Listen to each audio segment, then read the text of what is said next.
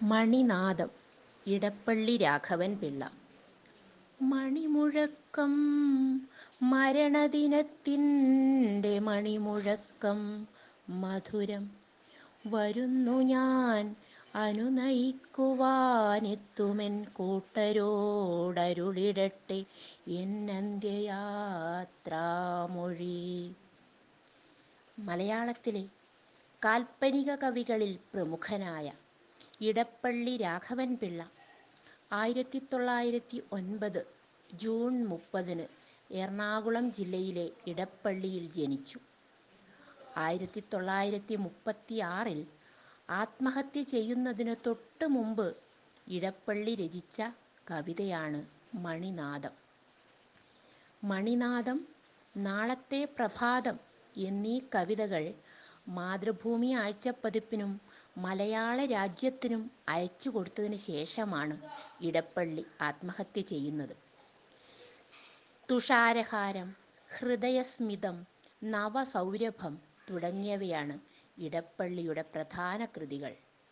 അദ്ദേഹത്തിന്റെ മരണശേഷം ഇടപ്പള്ളി രാഘവൻ പിള്ളയുടെ കൃതികൾ എന്ന കവിതാ സമാഹ സമാഹാരവും പ്രസിദ്ധീകരിച്ചു.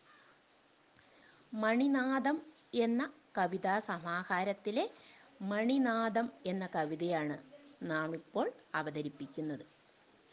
തന്റെ മരണപത്രത്തിൽ ഇടപ്പള്ളി ഇങ്ങനെ എഴുതി.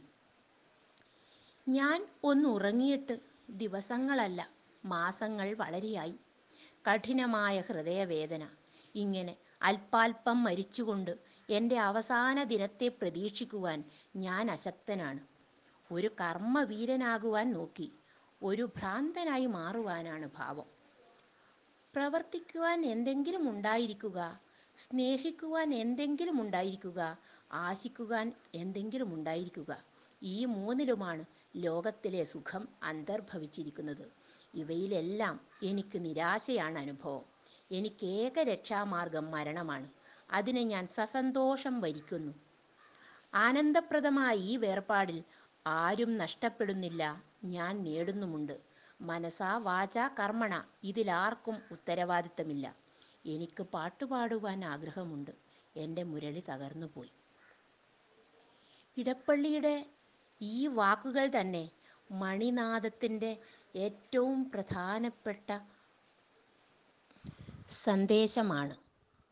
ഇടപ്പള്ളിയുടെ മരണം ഉളവാക്കിയ ദുഃഖത്തിൽ നിന്ന് ചങ്ങമ്പുഴ രചിച്ച ഇടയ വിലാപകാവ്യമാണ് രമണൻ.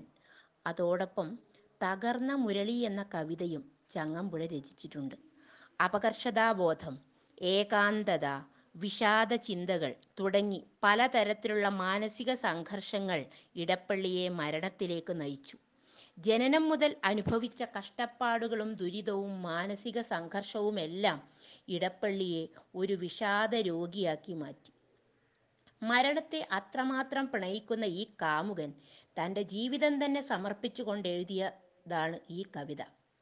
കവിയുടെ ചെറുപ്പത്തിൽ അമ്മ ആത്മഹത്യ ചെയ്തു. കുത്തഴിഞ്ഞ ജീവിതം നയിച്ച അച്ഛൻ രണ്ടാനമ്മയുമായി ഒത്തുപോകാനുള്ള പ്രയാസം ദാരിദ്ര്യം ഇതെല്ലാം ഇടപ്പള്ളിയെ ജീവിതത്തിൽ നിന്നകറ്റി.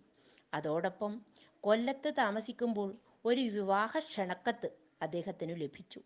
ഹൈസ്കൂൾ കാലഘട്ടം മുതൽ അദ്ദേഹം സ്നേഹിച്ച പെൺകുട്ടിയുടെ വിവാഹ ക്ഷണക്കത്തായിരുന്നു അത്. പ്രണയ നൈരാശ്യത്തിന്റെ പടുകുഴിയിൽ വീണ ഇടപ്പള്ളി അങ്ങനെ മരിക്കാൻ തീരുമാനിക്കുന്നു.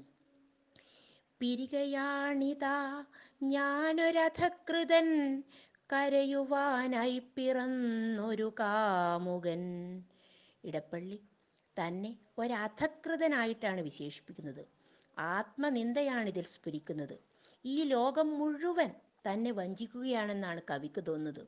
മറ്റുള്ളവർക്ക് ഇഷ്ടമായ രീതിയിൽ ആടുവാൻ തനിക്ക് പറ്റില്ലെന്നും താൻ അരങ്ങൊഴിയുകയാണെന്നും കവി പറയുന്നു.